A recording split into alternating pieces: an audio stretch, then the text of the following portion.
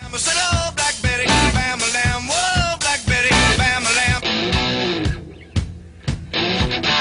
Vårta på näsan eller en finne i röven? En finne i röven. Sova med eller utan någon?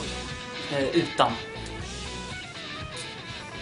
Dricka piss eller gå naken en hel dag? Dricka piss. Bus eller godis? Åh, godis. Eller bus. Eller godis. Ja, bus eller godis. Bok eller film? Eh, film.